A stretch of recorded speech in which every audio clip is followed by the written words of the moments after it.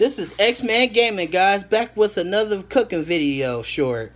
Right here we have spinach artichoke dip, and we're going to eat it with our fresh tortilla chips. It's looking good, guys. Mmm. And to the next one, guys.